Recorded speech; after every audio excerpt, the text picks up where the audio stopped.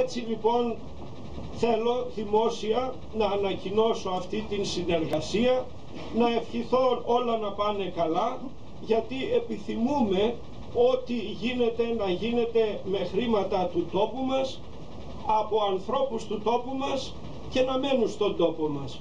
Και έτσι αυτό δείχνει ότι και η τοπική εκκλησία αλλά και η τοπική μας τράπεζα διακατέχονται από αυτό το πνεύμα.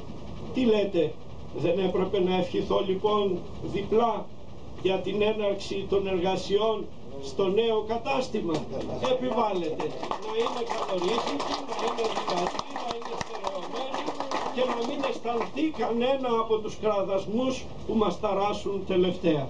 Να είστε καλά. Τις προσπάθειες που κάνει το προσωπικό και η διοίκηση θα μπορέσουμε εν ώψη τον, του 2012 η τράπεζα αυτή να προχωρήσει και να δημιουργηθεί η, να γίνει το πιστοτικό ίδρυμα της Πελοποννήσου.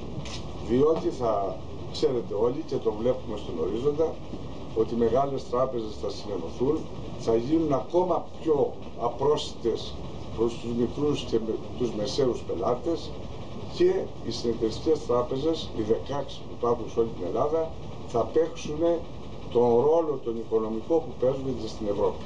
Αυτή τη στιγμή στην Ευρώπη το, από το 40 έως το 60% της πελατείας ε, εξυπηρετείται στις συνεταιριστικές τράπεζες.